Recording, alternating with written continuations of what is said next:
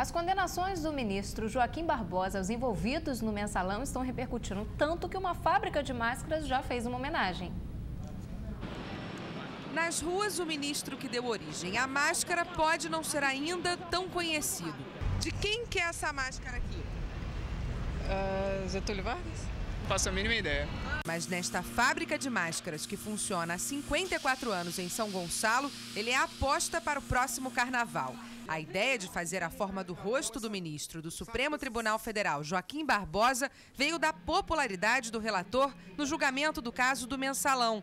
E o adereço já vem até com uma capa, inspirada na toga usada pelos ministros. Temos essa tradição de fazer as máscaras de, de personalidades de política brasileira, então foi simplesmente fazer de ver de casa, né?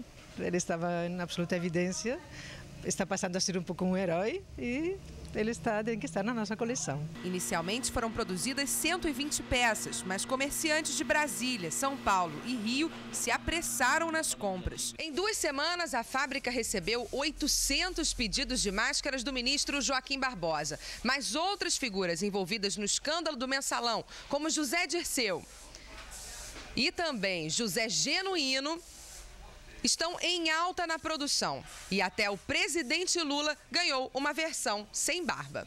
Outro réu no processo do mensalão que tem sua máscara na fábrica é Roberto Jefferson, que tem até uma versão de quando apareceu com um olho roxo.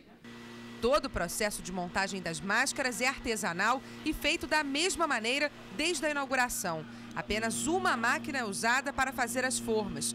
Em média, 200 mil peças são produzidas por ano. Mas nas ruas, o desejo é que nem todos estes personagens pulem o carnaval. Eu espero que ele continue cada vez mais firme massacrando esses corruptos que tanto nos massacram. Espero que ele